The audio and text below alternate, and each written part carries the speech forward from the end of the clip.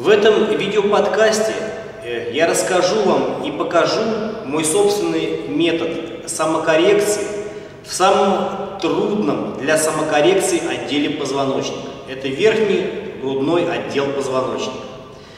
После седьмого шейного позвонка буквально первые 3-4 верхних э, грудных позвонка.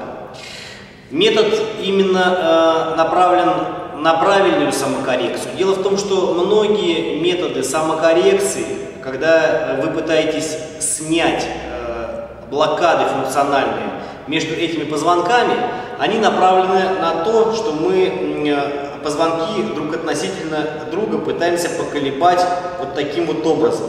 То есть это реклинации всякие разные, когда прогибаемся мы сильно очень, да? Э, не будем путать это с мобилизацией, а когда при разминке мы делаем всякие э, прогибания, э, гибания, это нормально. А вот когда реклинации в статических положениях сам делаются и релизинги различные, свыгнутые со спиной, вот, это несколько не то. Почему? Потому что это несколько афизиологично. Самая лучшая мобилизация идет тогда, когда мы позвонки между собой растягиваем. Не переламываем друг относительно друга, да? не скручиваем друг относительно друга, а растягиваем. И в верхнем грудном отделе сделать это самому очень сложно, практически невозможно. Мануальный терапевт может это сделать.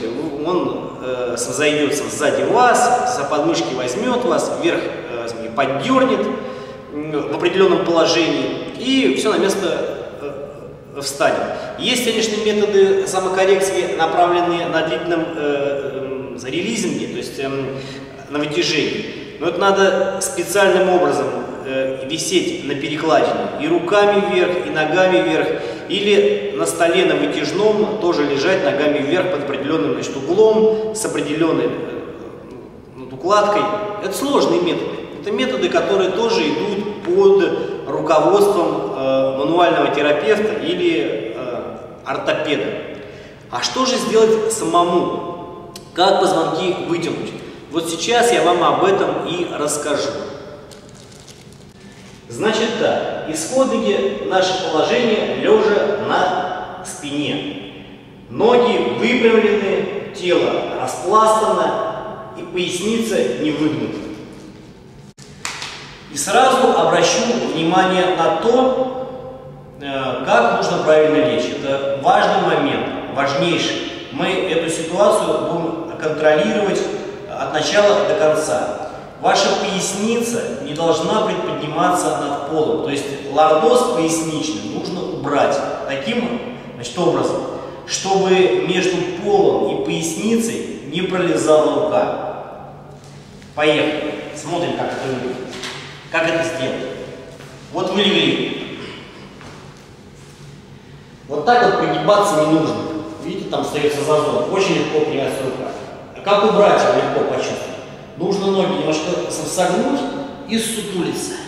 И почувствовать, как ваша э, поясница прилила к полу. Теперь ноги нужно выпрямить и лечь.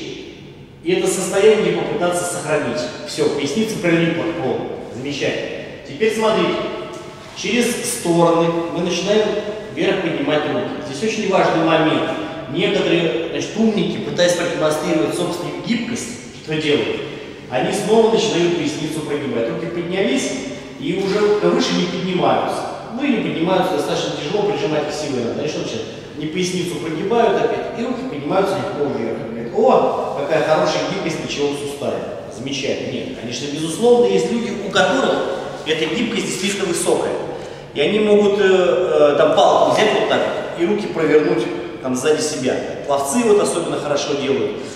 У абсолютного же большинства качков и людей, э, э, занимающихся силовыми видами, у них э, в плечевом суставе гибкость не очень большая.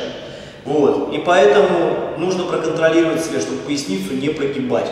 Если же собственно говоря, руки поднимаются и соединяются очень легко вверху там, вот таким образом. Вот, туда. И при этом э, не прогибается поясница, нужно под лопатки, под лопатки подложить несколько валиков каких-то, либо там одеяло, либо валик от дивана, либо что-то еще. То есть вы будете приподняты, опять же, поясница на полу, вот, и вы начинаете поднимать вверх руки. Поднимаете их до такого состояния, когда чувствуете, что руки начинают над полом уже приподниматься. Видите, они пола не касаются. Надо их обязательно расслабить, потому что силой дожать их можно всегда. Вот, руки подняли. Таким образом, если они не поднимаются, то и не страшно, тоже вы просто подложите валики, либо надо просто поднять руки под 45 градусов. Просто оптимально достигается э, ситуация тогда, когда ваши руки немножко зависают и создают естественный противовес как бы назад. Можно в самом деле, если руки поднимаются легко, взять в них э, гантели, либо сзади положить штангу и захватиться за нее. Вот таким вот образом, чтобы руки были зафиксированы. При этом, опять же, контролируем, в сотый раз говорю, чтобы поясница жестко прилегла сюда к полу. Руки подняли. Сейчас начнется самый главный метод. Смотрим. Итак, с самого начала. Ноги согнули, поясницу прилепили, выпрямили, ноги выпрямили, руки в стороны, руки подняли. Захватились там за штангу, либо просто подняли руки под 45. Теперь, самая главная манипуляция. Вы начинаете поднимать голову вверх, э, значит, подбородок стараясь э, приблизить к еремной вырезке, то есть к самому началу э, грудины. А теперь начинается самая главная манипуляция. Для этого нужно подбородок стараться прижать к самому верху грудины. Это еремная вырезка. Вот сюда, где грудина начинается. Руки лежат и подбородок. И при этом скатываем позвоночник, как будто в трубочку закручиваемся. Как будто лист бумаги скатываем в рулон. Вот так и нам надо голову. Сначала согнули голову, а потом приподнять немного э, со спину вверх грудь вверх.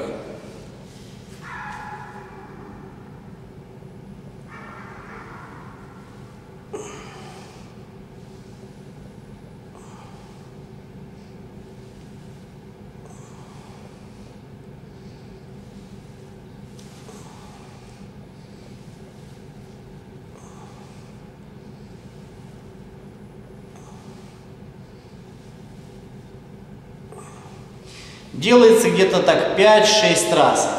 Если вы этого никогда не делали, то очень велика вероятность, что в первый раз у вас что произойдет? Вы услышите несколько щелчков, 3-4 щелчка в верхнем грудном отделе. Это и есть э, то, что произошла самокоррекция. Если вы достаточно гибкие, щелчков может и не быть. Для этого и, и нужны повторы. Опять же, щелчков может не быть и тогда, когда вы немножко побаиваетесь и мышцами себя значит, удерживаете. Это пройдет со временем, вы перестанете как бы сгрепощаться, и все будет нормально получаться. Вот. Важный момент-то какой сам, что сделав эту самокоррекцию в этом отделе позвоночника, вы должны понимать, что этим вы позвонки раздвинули, и дали им некое положение, к которому они у вас уже не привыкли, вернее, отвыкли быть в правильном положении, в декомпрессии. В этом отделе, кстати, э, в грудной части позвоночника чаще всего прострелы и бывают, потому что малоподвижный этот отдел позвоночника даже у людей, которые ведут активный образ жизни и спортом занимаются. И поэтому там всегда, как правило, блокады возникают. Вот. У всех почти. У самых подвижных людей. Вот. Так вот, вы значит, позвонки поставили в то положение, от которого они отвыкли уже. И что может быть? После первого раза или после второго раза вы можете ощутить в верхней части э, значит, дискомфорт некоторый. То есть э, со спины верхней части некий дискомфорт э, в верхнем грудном отделе позвоночника. Это бывает, это нормально. Важно понимать, что когда у вас метод уже начнет нормально получаться, не нужно им злоупотреблять. Ни в коем случае. То есть делать его надо не чаще одного-двух раз за неделю. Иначе вы в этом отделе, который не предназначен для очень активной подвижности, выработаете гипермобильность. Вы надергаете связки там, они растянутся, станут эластичными больше меры и будут в этом отделе очень плохо позвоночник удерживать. Это, наоборот, даже провоцировать может да, прострелы. Поэтому делать этого не надо. Ну, понимаете, во всем хороша мера. Поэтому самокоррекция в этом отделе позвоночника делается не чаще, я повторяю, не чаще, это очень важно, одного-двух раз за неделю. Удачи вам! До следующих встреч! Скрипту. Почему так важен этот отдел позвоночника? Верхний грудной отдел позвоночника.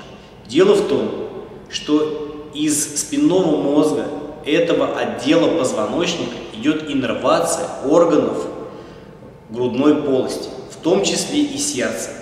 Поэтому, если в верхнем грудном отделе позвоночника есть сильные проявления остеохондроза, то они могут часто проявляться в виде сердечных болей и мимикрических э, всяких болей.